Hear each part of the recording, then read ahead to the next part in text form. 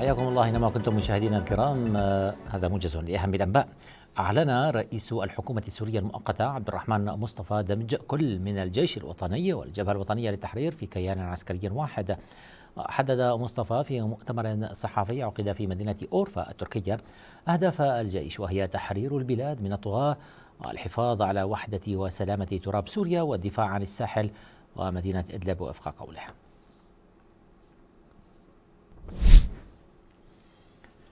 دخلت خلال الأسبوع الماضي 300 شاحنة تحمل مساعدات تستخدم لأغراض لوجستية وعسكرية إلى مناطق سيطرة الإدارة الذاتية التابعة لقصد شرق سوريا وفق وكالة الأناضول.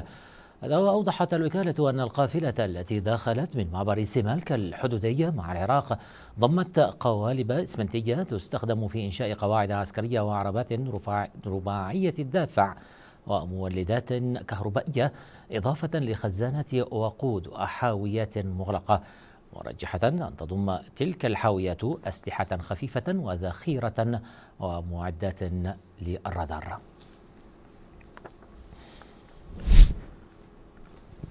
أفاد موقع جرف نيوز المحلي بأن ضباطا روس من مركز المصالحة في قاعدة حميميم الروسية فشلوا بإقناع النازحين من مناطق خاضعة لسيطرة قوات النظام بالعودة إليها. نقل الموقع عن مصادر محلية لم يسمها أن فشل إقناع النازحين خلال أو جاء خلال اجتماع عقده الضباط مع ممثلين عن النازحين في منطقة سيطرة قوات سوريا الديمقراطية مؤكدة أن النازحين من بلدات حطلة ومرات ومظلوم والحسينية رفضوا العرض الروسي للمصالحة بضمانات.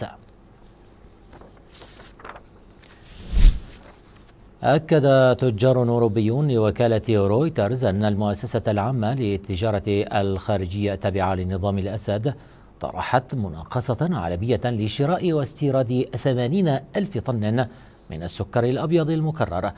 وأوضح التجار بأن الموعد النهائي للتقدم بعروض المناقصة للمؤسسة هو الحادي عشر من الشهر الجاري. وطلب النظام في مناقصته أن يتم الشحن على دفعتين الأولى عبارة عن أربعين ألف طن يتوجب شحنها بعد ستين يوما من فتح خطاب الاعتماد للصفقة والثانية بعد مئة وثمانين يوما من توريد الشحنة الأولى.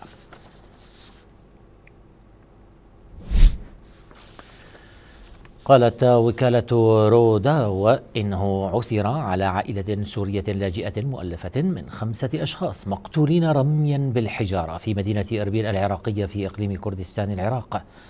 ونقلت الوكالة عن شهود عيان أن العائلة مؤلفة من أم وأب وثلاثة أطفال صغار. عثر على جثثهم وعليها آثار رجم بينما لم تحدد الأسباب التي دفعت لقتلهم بهذه الطريقة. كما أن قاتليهم ما يزالون مجهولين حيث بدأت الشرطة وقوات الأمن بالتحقيقات لكشف ملابسات القضية.